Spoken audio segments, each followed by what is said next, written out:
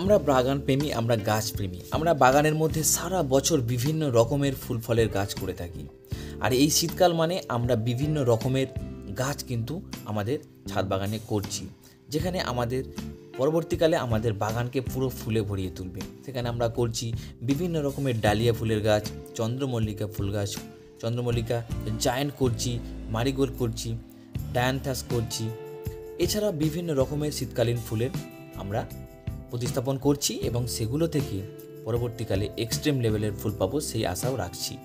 কিন্তু একবার ভেবে দেখুন, এর পাশাপাশি যদি আমরা কিছু নিত্য প্রয়োজনীয় সবজির চাষ করতে পারি, তাহলে কেমন হয়? হ্যাঁ বন্ধুরা, আজকের এই ভিডিওতে আমি আলোচনা করব অতি সহজে, একদম সহজ সরল ঘরোয়া উপায়ে কীভাবে গাছেতে টমেটো চাষ করা যায়, সেটা নিয়ে থাকবে সবিস্তারে আলোচনা। নমস্কার বন্ধুরা, আমি দেবনাথ, আর দেবনাথ ইউনিক গার্ডেন চ্যানেলে আপনাদের সকলকে স্বাগতম।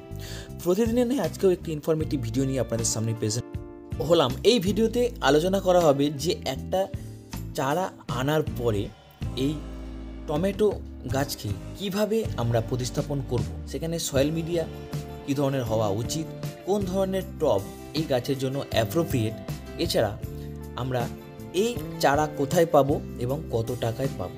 সমস্ত কিছু নিয়েই থাকবে এই ভিডিওতে আলোচনা। নমস্কার বন্ধুরা, আমি দেবনাথ আর দেবনাথ ইউনিক গার্ডেন চ্যানেলে আপনাদের সকলকে স্বাগতম। যে সকল বাগানিরা এই চ্যানেলে প্রথম এলেন, অবশ্যই চ্যানেলটিকে সাবস্ক্রাইব করবেন। আর পাশে থাকা বেল আইকনটিকে টাচ করে অলে প্রেস করে দেবেন, যাতে আমার ছাড়া প্রত্যেকটা ভিডিও আপনাদের দরকারে চলে যেতে পারে।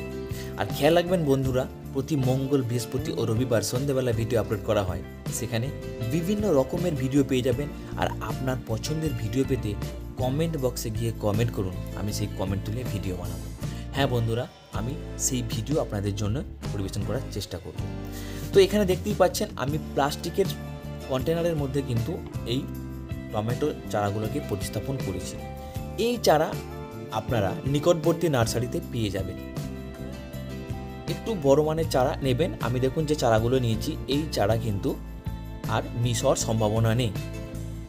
দু নম্বর বিষয়, এখানে যে পটগুলো নেবেন, একটু বড় নেবেন, মোটামুটি আট ইঞ্চি পটে হলেও খুব ভালো হয়।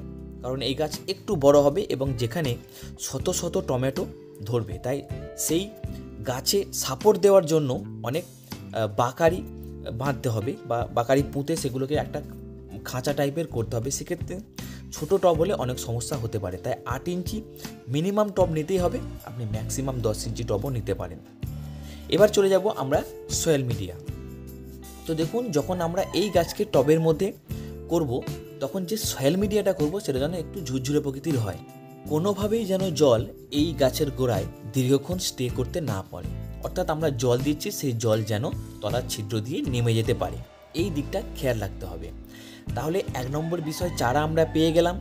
মাটি, আমরা একটা ঝুরঝুরে প্রকৃতির মাটি তৈরি করব। এক্ষেত্রে আমরা যে ধরনের কম্পোজিশানে প্রত্যেকটা এলিমেন্টকে মেশাবো, তো সেই জায়গাটা একটু বলে দিই। আমরা এখানে ফিফটি পার্সেন্ট মতো সাধারণ মাটি নেব। তার সাথে থার্টি পার্সেন্ট মতো ভার্মি কম্পোস্ট অথবা এক বছরের পচানো গোবর সার নেব। ওর সাথে টোয়েন্টি পার্সেন্ট মতো মোটা দানার বালি নেব। দিয়ে তিনটেকে মিশিয়ে নিয়ে আমরা একটা ঝুরঝুরে প্রকৃতির মাটি তৈরি করব এবং সেই মাটির মধ্যে কিন্তু এই গাছকে প্রতিস্থাপন করে দেব। পরবর্তী বিষয়, প্রতিস্থাপনের পর কিন্তু আমরা ভরপুর জল দিয়ে দেবো। তারপরে এবার বুঝে বুঝে জল দেব। এই বিষয়টা খেয়াল রাখতে হবে। তবে আমার যা গাছ, এই এই প্রকৃতির গাছ আনলে এগুলো ডিরেক্ট সানলাইটে দিয়ে দেবেন। কারণ এই সময়কার সূর্যালোক অতটা তীব্র নয়। কিন্তু এর থেকে ছোট হলে এক থেকে দুদিন সেমিসেটে রাখতে পারেন। এবার এইখানটা খেয়াল রাখতে হবে যে আমরা গাছ যেখানেই রাখি না কেন, রাতের বেলা অবশ্যই যেন শিশিরটা পায়। কারণ এই গাছ যত বেশি শিশির পাবে, তত বেশি সতেজ হবে এবং খুব দ্রুত মাটির সাথে সেট হয়ে যাবে। এবার চলে যাব যে গাছটাকে কোথায় রাখবেন। এই গাছ ভীষণ সানলাইট পছন্দ করে, তাই একটা ফাঁকা জায়গা নির্বাচন করবেন যেখানে সকাল থেকে সারাটা দিনে যেন রোদ পায়। তো এই বিষয়টা খেয়াল রাখতে হবে। আর গাছে এখন অতিরিক্ত খাবার দেওয়ার দরকার নেই। ঠিক এক সপ্তাহ পরে যখন দেখব যে গাছগুলো সেট হয়ে গেছে, প্রত্যেকটা পাতা টান টান, তখন আমরা এই গাছটার জন্য সার দেব।